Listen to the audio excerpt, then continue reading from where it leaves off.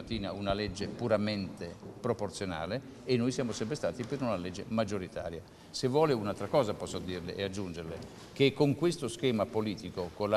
il governo che non ha più la maggioranza al Senato su questo percorso e la nostra presenza determinante, mi sembra inevitabile immaginare che a fronte di un nuovo assetto istituzionale che dà più poteri al Premier sia in termini di assetto istituzionale sia in termini di legge elettorale fortemente maggioritaria, mi sembra obbligatorio trovare una personalità di altissima garanzia e di alto profilo per il Quirinale. Lì vogliamo partecipare e condividere la scelta.